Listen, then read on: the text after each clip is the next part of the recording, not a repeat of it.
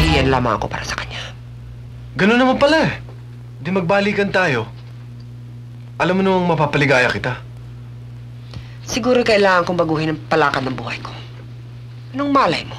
Baka swertehin din ako. Eto. My way of saying, thanks for the memories. You can still stay here if you want. Bayad ito ng dalawang buwan.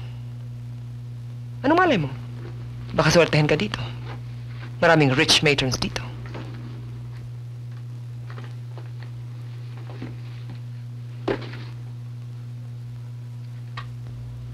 For services rendered.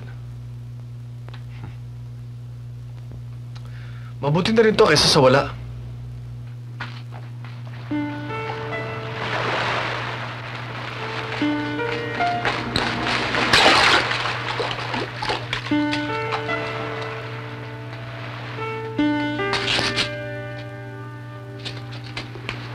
दीता दीता।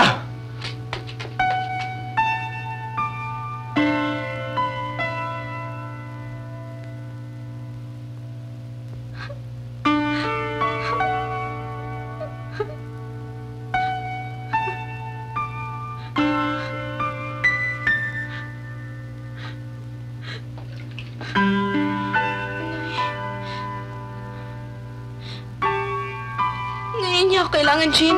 Hanapin natin siya. Saan? Ewan ko, hindi ako titigil hanggang tamo nakakahingi ng tawad.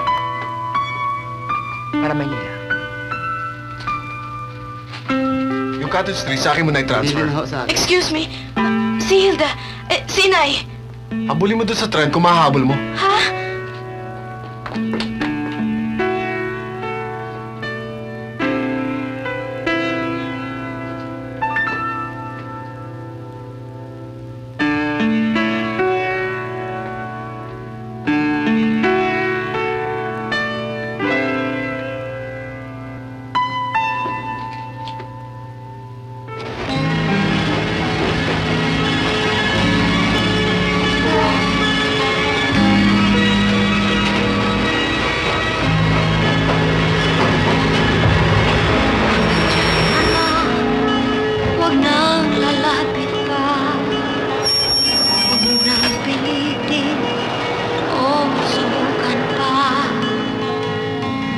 ng iba, patuloy pa.